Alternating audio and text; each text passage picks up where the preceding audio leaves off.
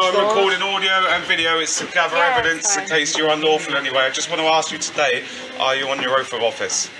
Uh, what, what do you mean by that? Are you on your oath of office Are you today, serious? officer? Are you serious? No, I'm just asking what you mean by that. Well, are you acting on your oath of office? Are you going to stand under your oath of office today? Because under your oath of office, you have to, you know, adhere to our fundamental human rights and use discernment. So we just So want to make obviously sure. we will treat you to human rights. I just want to make sure you're on your Oh, oath of office, that, and I'd just like to take your name and your numbers before we talk. So I'm PC Griffiths, 30213. Thank you very much. I'm PC Fro Could 30513. Sorry, say, say. PC Fro 30513. Right, can I see your identity as well, please? Yeah, do you want to see my warrant card? Yes, thank you. So what's going on today then? Uh, we're seizing the building. Uh, do you want to speak to this gentleman here? This would be the perfect guy to speak to. We're common law standing in Chester. Um, Article 61 has been invoked, and over the over the nation now, um, law- law-abiding citizens are now seizing public buildings which have been usurped from us by the legislative government, which is not a lawful government. Common law is the, the law of the land. We stand under common law. Uh, today, we have we have chosen this building because this building is supposed to be a public library. Uh, a public library belongs to the people, it's paid for by the people, and therefore it should not be uh, usurped and placed into, placed into a, a commercial uh, profit making organisation. It belongs to the people, the people pay for it. So, what we've done today, we've taken control of this, uh, of, of this building under Magna Carta 1215. Um, which is our uh, our rights to do so as, as law-abiding citizens. And what we want to do today is also use this opportunity to liaison with the police uh, in a public building, which we have we have the right to be. No one has the right to, to remove us from this building unless we are committing a crime. If there's a crime, there has to be a victim. So we've done nothing wrong today. We've been very respectful. We've come in. We've, uh, we, we, we did what the owner said. We sat down, uh, only to be met with a um, Stand off. Hostile parking. Very, we got him on video as well. Very hostile uh, very, very security hostile guard. uh, attitudes towards us in a public building which we paid for. And they're impersonating police and they're officers. impersonating police officers. We felt totally intimidated. Not only this, this happened last week, wasn't it? Yeah, last When, when, we, when we came as, as a group, just as a day out, we were, uh, they tried to force us to wear masks, where there is no law in this land that says we have to wear the masks. Even if the government brings out a bill says we have to do so. Because under Magna Carta, we have nothing to do with legislation. Legislation is not law. Government cannot make law. Yeah, we already have the law. And again, I'll, I'll, I'll say it again, it's Magna Carta 1215. Um, and so therefore we have the right to come in a building which we pay for without harassment, without having to be made to force, forced to wear masks. Instead, we came in here to be harassed, to be forced to wear masks. We want to know what's happened to our public library. It's been sold off, so we want the deeds back. The public library now yeah, is in a private building, being run as a business, which is totally uh, unlawful. We, we, we also uh, are in acknowledgement of the high treason that the government has committed uh, through the decades, um, going back from uh, 1973, uh, when um, Ted Heath and his co-conspirators caused high treason by trying to sign us in, into the European Union, which is high treason.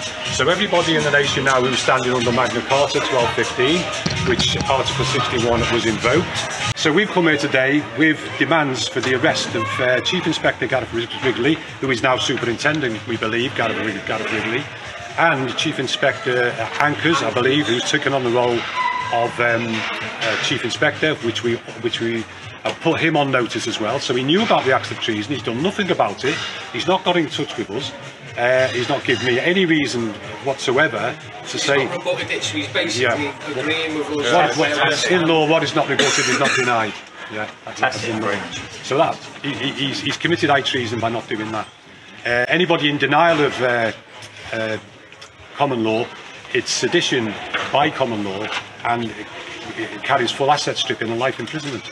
Yeah. This is what please. Off you a bit. Now, Basically, you're in the wrong jurisdiction. what we want to, what we're trying to do is to educate you, as the gentleman just said there.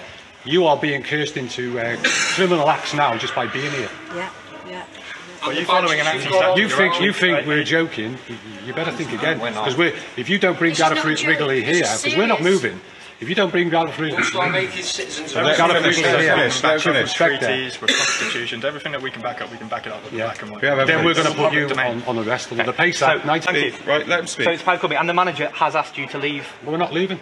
It's a licensed premises and they do have the powers to do No, that. No, you don't. No, This is a public. Whether you agree with it or not, No, that's right, can, fine. I, can, I, can, I, can I speak to you now, please, sir? Yep. Right, so basically, you're out of your jurisdiction. You stand under the Maritime Admiralty Law, which is law of the sea. You're out of your jurisdiction here. We have more authority than both you two and the rest of your force. Yeah. And we can prove this, and we can make that. citizens arrest too. Exact. So we're trying to educate and we're trying to get you guys on board to see sense. There's been mass fraud and corruption. This is medical fraud, this is economic fraud. Right, we have more authority. We are living men and women. We don't stand by our birth certificates. You're out of your jurisdiction. We stand on the common law, universal law, which is law of the land. You are working, and as an officer, and we respect you guys, and you've got that uniform, and you have no rights. You have obligations and roles, and that is it. Just Right, hold on. So you're out of your jurisdiction here. Are you going to help us, or are you going to leave? That, that, that side, I, I completely agree with. So, as you can see, there's no breach of the peace here. We are peaceful and lawful. Yeah. You know, we're, we're trying to do something that's respectful to you guys, to everyone else. We're sticking up for everyone's rights, including you.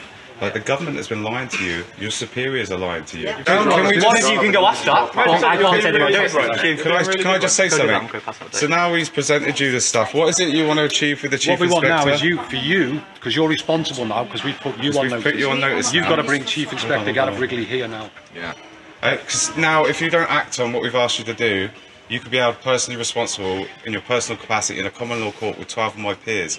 And it won't be, you won't be able to hide behind the police force, it'll be you as your, as, as the living man and you as a living woman.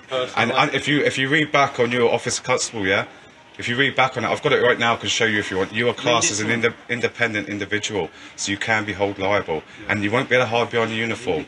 Under that uniform, you have no rights. If you took that uniform off, you have exactly the same rights as us. But under that uniform, all you have is obligations and roles, and that's what you have to stick to. So now we have given you something to go to your chief inspector with. If you do not act on that, now we've got your name and your details. We can hold you personally responsible in a common law court, and that is the plan. We're trying to get you guys on board, but we're giving everyone two weeks now. Anyone that doesn't get on board and start helping with this lies, this corruption, you've been you're going to be uh, classed as complicit.